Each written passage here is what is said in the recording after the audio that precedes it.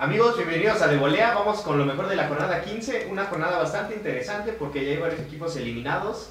Y bueno, matemáticamente están jugando todavía, pero sabemos que ya es muy difícil.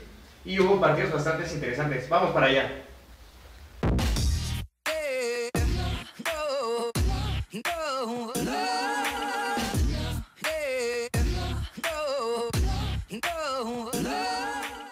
Empezando con un partido del viernes, los Cholos estuvieron recibiendo a las Chivas, unas Chivas que la verdad parece que dejaron muy claro que están enfocadas en la Conca Champions. Fue un cuadro alternativo, muchos jóvenes, esto es algo bueno que son muchos, pero sí se notó mucho esta ausencia de los titulares, los estaban guardando para la otra competencia. Los aprovechó. Cholos necesitaba ganar para poder seguir en puestos de liguilla y lo consiguió muy fácil. Al minuto 5 más o menos hubo un penal, una jugada bastante polémica. A mí me parece que no era, en el que es un tiro que le rebota en la pierna a Pereira y luego en la mano y se marca esa mano como penal. Y bueno, Miller lo hace efectivo poniendo el 1-0. También en el primer tiempo, ya casi al final, llega el segundo gol de nuevo en un penal, una jugada un poco menos polémica que quizás podría ser obstrucción, no penal. Y, bueno, y este penal lo cobra Boy poniendo el 2 0. El partido siguió peleándose en el segundo tiempo, ya no hubo tanto movimiento, bajó mucho la intensidad del partido, pero ya casi al final, sé que el minuto 86 llega el 3 0 en una buena jugada donde se termina quitando al arquero de las Chivas, a este joven, muy bien y define, esperando la barrida del otro rival, poniendo el 3 a 0 definitivo, que deja a las Chivas ya eliminadas, tal vez no matemáticamente, pero pues ya es demasiado difícil que pase. En el sábado un partido bastante interesante que llamó mucho la atención era los Tigres recibiendo a Cruz Azul, un Cruz Azul que sabía que si le quedaba un poco de esperanza de vida tenía que ganar los tres partidos que le, que le faltaban, y bueno, unos Tigres que como sabemos cierran el torneo muy fuerte, pero Cruz Azul se plantó muy bien en el campo, me parece de los mejores partidos que le he a Cruz Azul en el torneo. Cruz Azul empezó ganando una buena jugada colectiva en la que Jerry Flores se incorpora al ataque, manda un centro y al final en un centronazo al Cauterucho solamente la tiene que empujar poniendo el 1-0. Después se mantuvo así todo el primer tiempo y hasta el segundo tiempo llegó una jugada en la que mandan un pase filtrado a Jürgen Damm por arriba, quien intenta centrar, para mí intentó centrar y metió un golazo de globito echando a Corona poniendo el 1 a 1. Después de esto me parece que Cruz Azul se desanimó y Jerry Flores en una etapa muy fuerte se va expulsado, me parece expulsión justa. Y pues ya los problemas para Cruz Azul se vinieron encima. Muy, después de unos minutos llega la ventaja para Tigres en una buena jugada entre Guiñac y Eduardas quien define raso al primer poste dejando sin oportunidad a Corona. Y pues Cruz Azul sigue atacando y al final tuvo su recompensa que fue el empate en una jugada que Caturucho queda en el área y con mucha tranquilidad recorta, recorta un defensa y define el raso dejando sin oportunidad a Nahuel, poniendo el 2 a 2 que pues jugó muy bien Cruz Azul, pero me parece que ya queda eliminado. Caiciña se ve expulsado y pues es una lástima porque no va a estar en el último partido en el Estadio Azul, todo por esta expulsión. Y pues también ya está eliminado Cruz Azul, se entiende también ese enojo del técnico. Otro partido interesante del sábado fue Pachuca recibiendo a Santos, que perdió el liderato la jornada pasada apenas. Y Pachuca necesitaba ganar y sorprendió, fue así en casa que está cerrando muy fuerte, bueno, de, sin tomar en cuenta la, goliza que le puso el Cruz Azul, pero está cerrando muy bien, muy pronto en el partido, a mitad del primer tiempo más o menos. El japonés Honda se encuentra con una muy buena recepción, se acomoda para el perfil izquierdo y manda un, tiro desde fuera del área que, que fue un golazo, la verdad, poniendo el 1-0. Seis minutos después, como sabemos, Pachuca agarra estas rachitas de empezar a atacar y muchas veces han conseguido rachas de dos o tres goles muy rápido. Y esta fue así, de nuevo un pase del japonés muy bueno para Eric Aguirre, lo deja prácticamente en la esquina del área chica, que tiene que definir raso muy sencillo poniendo el 2 a 0. Y al final del primer tiempo, Yanini Tavares es un goleador, le dan un poco de espacio y define, define bombeadito, es un crack y yo creo que ya se va a llevar el liderato de goleo y puso el, puso el 2 a 1. Ya al final Pachuca durmió un poco el partido, todo el segundo tiempo fue más relajado y hasta el final, en los últimos minutos, llega un centro raso de Zagal que es definido a primer poste, dejando sin oportunidad a Jonathan Orozco y dejando el marcador final de 3 a 1.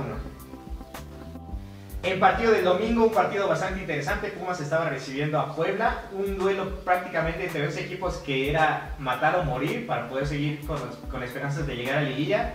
Y me parece que Pumas se plantó mucho mejor, tal vez tenía la ventaja de la localidad y empezó atacando mucho más, pero aún así Puebla pegó primero en una jugada un poco extraña en la que un rebote le deja le queda modo a Cavalini, quien solamente dentro del área tiene que cruzar raso, al pollo saliva poniendo el 1-0. Después Pumas siguió atacando, como les digo, Pumas tuvo la iniciativa prácticamente todo el partido y al final, en la última jugada del partido, incluso ya habían pasado los 3 minutos de tiempo de compensación, mandan un centro que, bueno, un cambio de juego que baja Nico Castillo eh, muy cerca de la portería y define raso. Con un poco de polémica porque en esa jugada antes el balón había salido y me parece que fue muy claro, pero bueno, puso el 1 a 1 antes del descanso y esto fue importantísimo. Para el segundo tiempo, Pumas ganó la ventaja, le dio la vuelta al marcador en, una, en un centro que sorprendentemente ganó a los Tiza, poniendo el 2 a 1. Inmediatamente Puebla se puso las pilas, atacó y muy pronto consiguió el, empate en un centro frontal que Cavalini logra rematar sobre Fuentes, quien parece que no busca el balón en ningún momento, poniendo el 2 a 2. Parecía que podía quedar así el marcador, pero los Pumas y el Puebla sabían la importancia de este marcador y los dos se dedicaron a jugar un excelente partido y llegó el 3 a 2 en una jugada un poco desafortunada. Se la dan a Nico Castillo, tira un, manda un tiro pues de rutina, prácticamente iba a las manos del portero y se la desvía un defensa al portero y por ese desvío ya no logró parar, poniendo el 3 a 2. Después de esto, Puebla sabía la importancia del partido. En los últimos minutos, incluso el arquero iba a rematar a los tiros de esquina tratando de empatar el partido. Pero pues esto fue, esto fue malo para el Puebla, porque en una jugada los agarraron mal parados, ya no había defensas. Y pues dejaron solo a Nico Casillo, que definió muy fácil frente al arquero poblano, poniendo el 4-2, marcador definitivo. Y de tomar en cuenta que Pumas estaba jugando con un jugador menos y pues jugaron muy bien, la verdad. En los otros partidos que no les mostré el resumen, Atlas le ganó 1-0 al Querétaro, muy mal para Querétaro que necesitaba ganar para seguir en la pelea por liguilla. Eh, Toluca le ganó a Morelia, Toluca sigue siendo líder indiscutible. América y Monterrey empataron 0-0, era por un boleto directo a liguilla. Me parece que los dos van a estar en liguilla de todas maneras, pero era una buena oportunidad para que uno de los dos ya se quedara con la liguilla segura.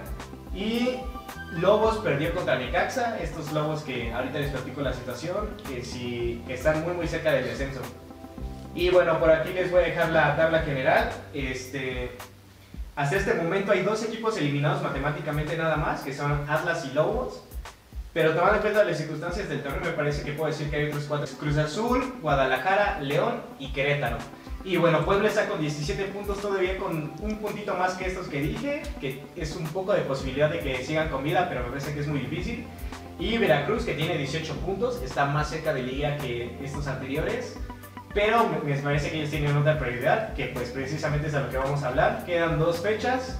Al Veracruz le falta jugar hoy en la tarde contra el León. Y bueno, esto podría cambiar mucho. Les platico rápido.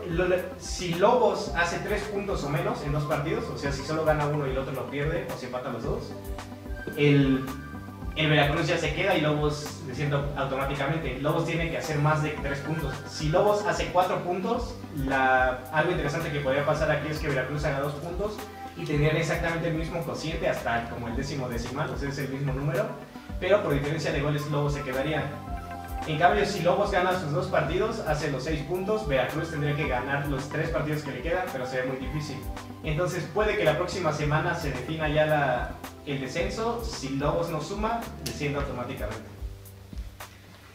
Y también aquí se va a poner la quiniela, quedan dos jornadas por jugar y esto está muy cerrado, pero ya está, puede pasar cualquier cosa en estas últimas dos jornadas, entonces hay que estar atentos con esto. Bueno, pasando a la Liga Femenil, ya están listas las semifinales, se va a jugar la primera hoy por la tarde y la otra el lunes, que sería Toluca contra Monterrey y del otro lado Tigres contra América para el lunes. Esto fue todo por el día de hoy, espero les haya gustado el video, ya saben que si fue así pueden suscribirse y darle like y vamos a esperar cómo cierra este torneo que se está poniendo bastante interesante. Hace mucho no había tantos con posibilidad de quedarse en lilla.